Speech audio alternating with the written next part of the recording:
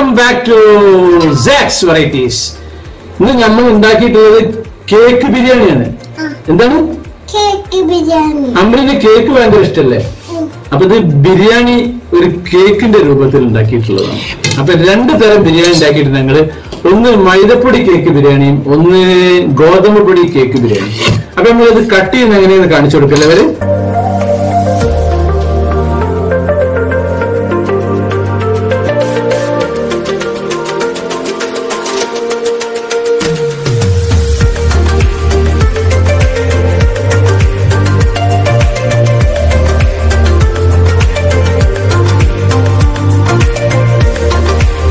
അമ്മലിനെ ഒന്ന് ടേസ്റ്റ് ചെയ്ത് നോക്ക്?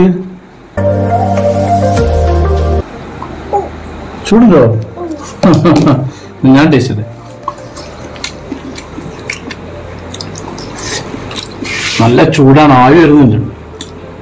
അപ്പൊ ഇതുപോലത്തെ ഒരു കേക്ക് ബിരിയാണി ഇവിടെ ഉണ്ടാക്കട്ടെ അല്ലേ നമ്മൾ തണുത്തിട്ട് കഴിക്കുമല്ലേ നമുക്ക്?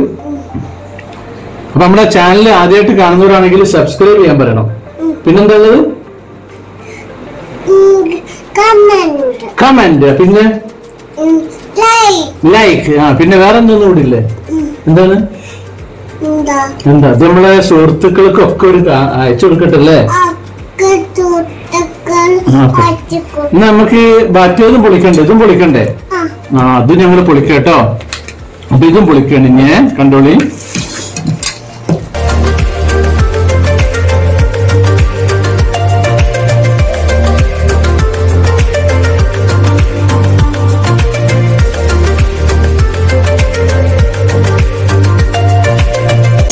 ഇതിന്റെ പ്രത്യേകത എന്താ വെച്ചാൽ ഇതിനി ഇതിന്റെ ഒപ്പം ഈ റൊട്ടി കഴിക്കേണ്ടവർക്ക് ഈ റൊട്ടിയും കഴിക്കുക ബിരിയാണിയും കഴിക്കുക നെയ്യപ്പം തിന്ന പോലെ രണ്ട് കാര്യമാണ്. നെയ്യപ്പം തിന്നും ചെയ്യാം കൈമ്പല നെയ്യ എണ്ണയാവും ചെയ്യുന്ന പോലെ.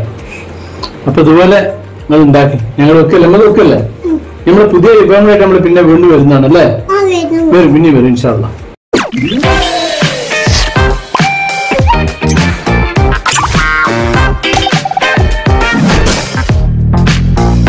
ഇത് പൊന്മണി ലാച്ച്കാരി ബിരിയാണി അരിന്റെ ഒരു പാക്കറ്റാണ്. ഈ ഒരു പാക്കറ്റ് ഞാനിനി പൊടിച്ചിട്ട് അത് ഒരു അരമണിക്കൂർ വെള്ളത്തിലിട്ടിട്ട് അത് കുതിർത്ത് വെക്കുകയാണ്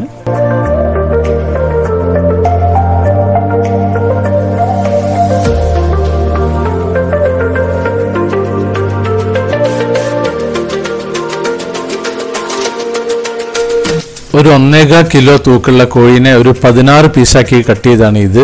ഇതിലേക്ക് ഒരു മൂന്ന് വലിയുള്ളി ചെറുതാക്കി അരിഞ്ഞതും മൂന്ന് തക്കാളി ഇതുപോലെ അരിഞ്ഞതും. കുറച്ച് മല്ലിച്ചപ്പിന്റെയും പുതിനന്റെയും ഇല വെച്ചിട്ട് തണ്ടാണ് ഈ കാണുന്നത്.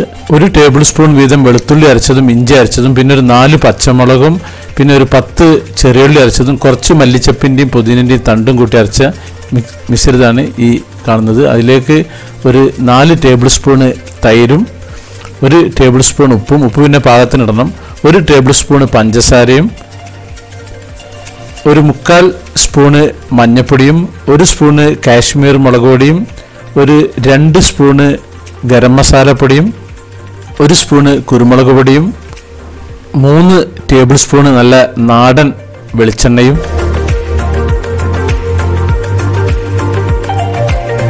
പിന്നെ ഒരു ടേബിൾ സ്പൂണ് നല്ല സുർക്കയും അതായത് വിനാഗർ പിന്നെ ഒരു ലൈറ്റ് റോസ് വാട്ടർ ഒരു ടേബിൾ സ്പൂണ് ലൈറ്റ് റോട്ട് റോസ് വാട്ടറും പിന്നെ കുറച്ച് മല്ലിച്ചപ്പിന്റെയും പുതിനയുടെയും ഇലയും അതിട്ടിട്ട് നല്ലവണ്ണം മിക്സ് ചെയ്തിട്ട് ഇതിങ്ങനെ ഒരു രണ്ട് മണിക്കൂർ അങ്ങനെ അടച്ചു വെക്കുക. ഫ്രിഡ്ജിൽ വെക്കണ്ട പുറത്ത് വെച്ചാൽ മതി.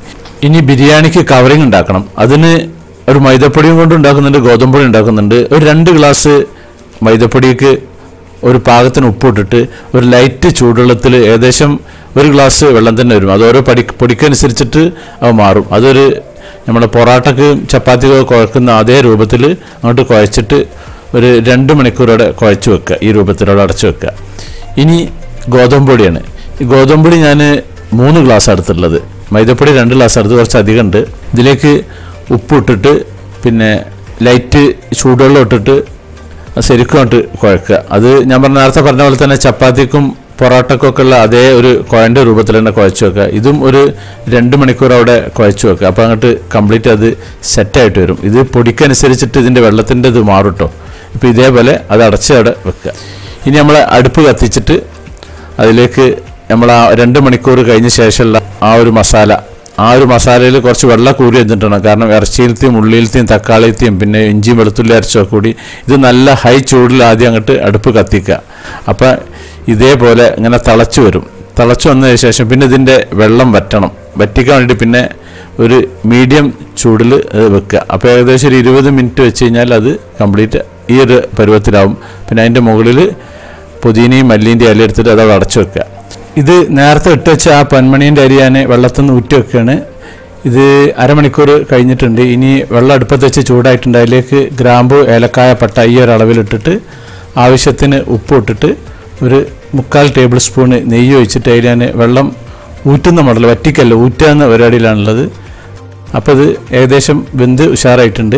ഞാൻ പൊതുവെ ബിരിയാണിക്ക് അങ്ങനെ നാച്ചുറൽ കളറാണ് കൊടുക്കാറ്. ഇത് കുറച്ച് പാലിൽ കുങ്കുമം കലക്കിയിട്ടുള്ള ഒരു കളറാണ് മഞ്ഞ കളർ പുറത്തുനിന്ന് വാങ്ങുന്ന കളർ കൊടുക്കുന്നതിനോട് എനിക്ക് യാതൊരു അഭിപ്രായമില്ല അപ്പോൾ ഞാൻ പൊതുവെ ഇങ്ങനെയാണ് ഞാൻ ഉപയോഗിക്കാറ്. കാരണം നമ്മുടെ ശരീരത്തിന് വെറുതെ കളർ കൊടുത്തിട്ട് കേടുവരുത്തണ്ടല്ലോ. ഇത് രണ്ടാക്ക് കഴിക്കാൻ പറ്റുന്ന ഒരു വലുപ്പമുള്ള ഒരു വട്ടത്തിലുള്ള നോൺ സ്റ്റിക്ക് പാത്രമാണ് ഇതിലാണ് ഉണ്ടാക്കാൻ പോകുന്നത്.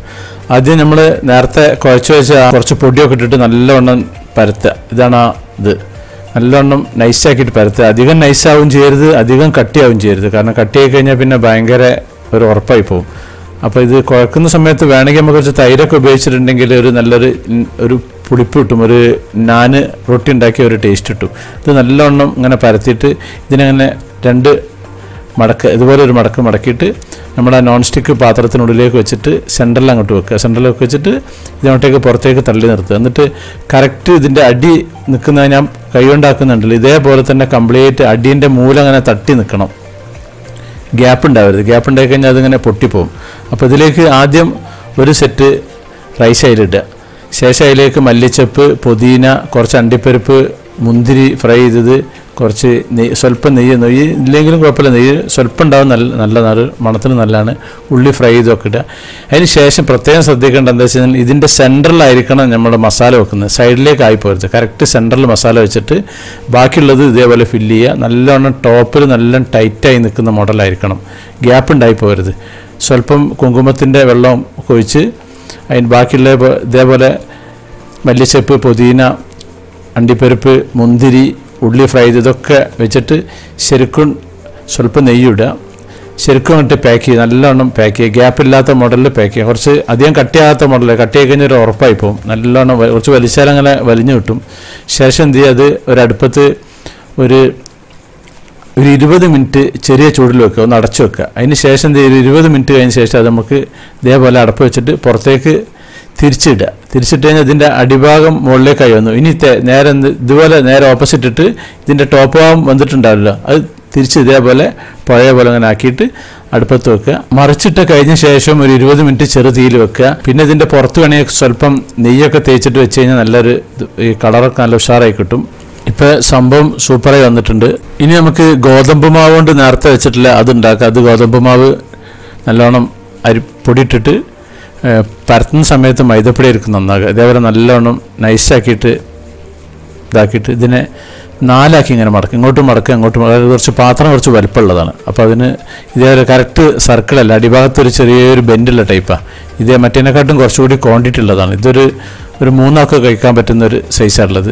ഇതിലേക്ക് അടിയൊക്കെ ഞാൻ പറഞ്ഞു നേരത്തെ അട്ടി ആലോചിച്ചിട്ട് നേരത്തെ ചെയ്ത എല്ലാ കലാപരിപാടികളും ഇതിൽ ചെയ്യുക അടിയിൽ ഒരു ലെയറിൽ റൈസ് വെച്ചിട്ട് അതിന്റെ മുകളിൽ പിന്നെ മല്ലിച്ചപ്പും പുതിനയും മണ്ടിപ്പരിപ്പൊക്കെ ഇടുക. പിന്നെ ഇതേപോലെ പിന്നെ സെൻട്രൽ മസാല പ്രത്യേകം ശ്രദ്ധിക്കണം സെൻട്രൽ ഇടണം. എന്നിട്ട് അതിന്റെ മുകളിൽ ടോപ്പിൽ ഇത് ഇതേപോലെ ടോപ്പ് കറക്റ്റ് ആയിരിക്കണം. ടോപ്പിൽ പിന്നെ ഗ്യാപ്പ് ഉണ്ടാവരുത്. ഗ്യാപ്പ് ഉണ്ടായി കഴിഞ്ഞാൽ അതൊരു ഒരു ഒരു എന്താ പറയുക ഒരു ശരിക്കും ചൂടും കാര്യങ്ങളും തട്ടൂല. ഒരു ചെറുപ്പം പൊട്ടാനൊക്കെ സാധ്യത ഉണ്ട് എന്നിട്ട് ശരിക്കും ഇതേപോലെ മടക്കി വെച്ചിട്ട് ഇരുപത് മിനിറ്റ് തന്നെ ചെറുതീയിൽ വെക്കുക. അതേപോലെ പിന്നെ തിരിച്ച് പിന്നെ മറിച്ചിട്ടിട്ട് അതേപോലെ പിന്നെ ഇരുപത് മിനിറ്റ്. ഇതിന്റെ കുറച്ച് വേസ്റ്റ് ഒക്കെ ഉണ്ടാവും സൈഡിൽ അതൊക്കെ കണ്ട് മുറിച്ചെറിഞ്ഞാൽ മതി. കാരണം ഗോതമ്പൊടിക്ക് കുറച്ച് കട്ടി കൂടുതലാണ്. ശേഷം ഇതേപോലെ സംഭവപ്പ ഇതുപോലെ മറിച്ചിടുക. കുറച്ച് നെയ്യും കാര്യങ്ങളൊക്കെ പുരട്ടുക. അപ്പോൾ സൂപ്പറായിട്ടുണ്ട് ഇതേപോലെ ഉണ്ടാവും. ഇപ്പോൾ സംഭവം എല്ലാം റെഡി ആയിട്ടുണ്ട്. ഇതൊരു ബിരിയാണി കോമ്പറ്റീഷൻ ഉണ്ട് പെരിന്തൽമണ്ണയിൽ അപ്പോൾ ആ ഒരു കോമ്പറ്റീഷന് വേണ്ടി ഉണ്ടാക്കിയതിട്ടുള്ളതാണ് അതായത് ഞാനൊരു കേക്ക് ബിരിയാണിയാണ് ഉണ്ടാക്കിയിട്ടുള്ളത്. പക്ഷേ എനിക്ക് തന്നെയാണ് ഫസ്റ്റ് പ്രൈസ് കിട്ടിയിട്ടുള്ളത്. ഒരുപാട് സ്ത്രീകളുണ്ടായിരുന്നു. ആകെ ഒരു പുരുഷനുണ്ടായിരുന്നു. ആ ഒരു പുരുഷൻ ഞാനായിരുന്നു. ഇത് രണ്ട് തരത്തിൽ ഞാൻ ഉണ്ടാക്കിയത്. പക്ഷേ ഇതിൽ ഈ ഈ ടൈപ്പാണ് ഞാൻ അങ്ങോട്ടേക്ക് കൊണ്ടുപോയിട്ടുള്ളത്. മറ്റേത് ഓവൽ ടൈപ്പ് നമ്മൾ വീട്ടിൽ തന്നെ ഉപയോഗിച്ചിട്ടുള്ളത്. ഇതിന്റെ പുറത്ത് കുറച്ച് നെയ്യും കാര്യങ്ങളൊക്കെ പുരട്ടി ഉഷാറാക്കിയിട്ട് ഇതാണ് മറ്റേത് ഗോതമ്പൊടി ഉണ്ടാക്കിയിട്ടുള്ളത്.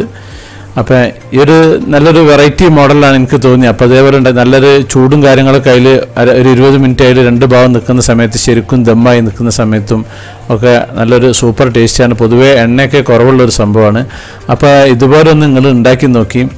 അപ്പോൾ ഇനിയും ഞാൻ എന്റെ ചാനലിൽ ഒരുപാട് വെറൈറ്റി ഫുഡുകളുണ്ട് നിങ്ങൾ അതെല്ലാം കാണുക. സ്ഥിരം പറയുന്നവർ സബ്സ്ക്രൈബ് ചെയ്യാൻ മറക്കരുത് ലൈക്ക് ചെയ്യാൻ മറക്കരുത് കമന്റ് ചെയ്യാൻ മറക്കരുത്. എനിക്കൊരു പിന്നെ ട്രാവലിന്റെ ചാനലുണ്ട് അതിന്റെ പേരാണ് സാക് ട്രാവൽ എന്നാണ് അതിന്റെ പേര്. ആ ഒരു ചാനൽ നിങ്ങൾ സന്ദർശിക്കുക. എന്നാൽ താങ്ക്